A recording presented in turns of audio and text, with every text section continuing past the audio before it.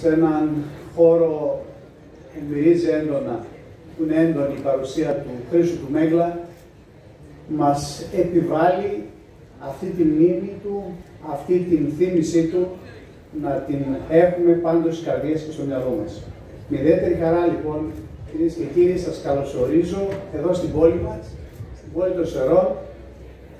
στην έκθεση, στη διεθνή επιχειρηματική έκθεση σε Rexpo 2022. Ένα θεσμό που έχει ταυτιστεί με την περιοχή μας, με την πόλη μας και επανέρχεται φέτος δυναμικά μετά από δύο χρόνια απουσίας, στέλνοντας το μήνυμα της ενότητας, σε αυτό αναφέρθηκε και ο φίλος μου Παναγιώτης, γιατί η ενότητα είναι το πρώτο μήνυμα το οποίο πρέπει να εκπέμπεται,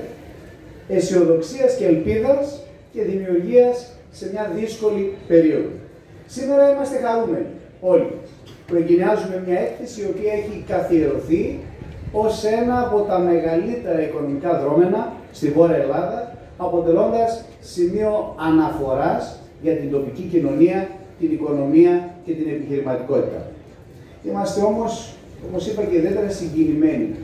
γιατί ο άνθρωπος που αραματίστηκε και έκανε πραγματικότητα αυτόν τον θεσμό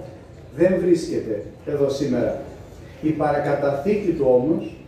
η παρακαταθήκη που άφησε ο αείμνηστος Χρήστος Μέγλας, ζει σε αυτόν εδώ τον χώρο, το επιχειρηματικό κέντρο σε Ρέξπο Χρήστος Μέγλας, και το οποίο αγωνίστηκε και το οποίο φέρει το όνομά του.